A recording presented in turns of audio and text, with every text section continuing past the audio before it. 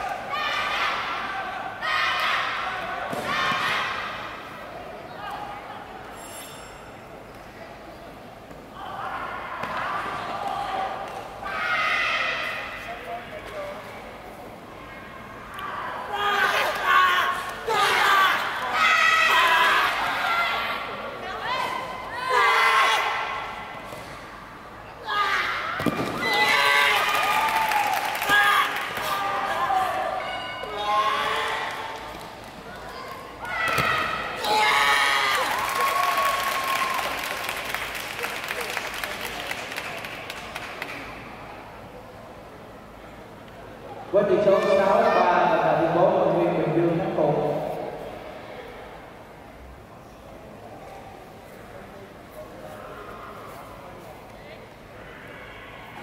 tiếp theo là đội viên quảng nam hk công an ao ra sàn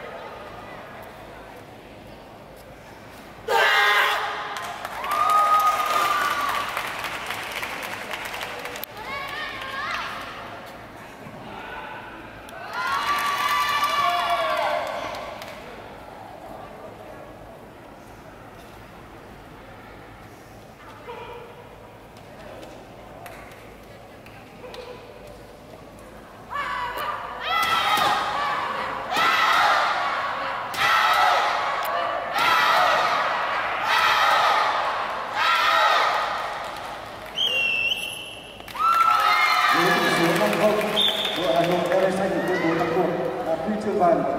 huy chương bạc của công an nhân dân, hai huy chương đồng của hải phòng và đội ninh bình.